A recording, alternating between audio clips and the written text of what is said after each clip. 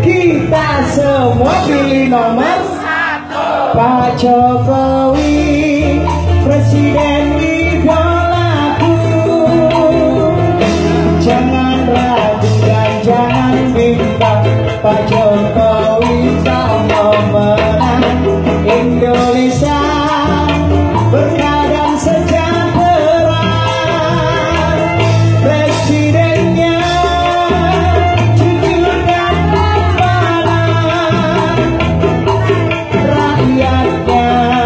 Sudah pasti sejati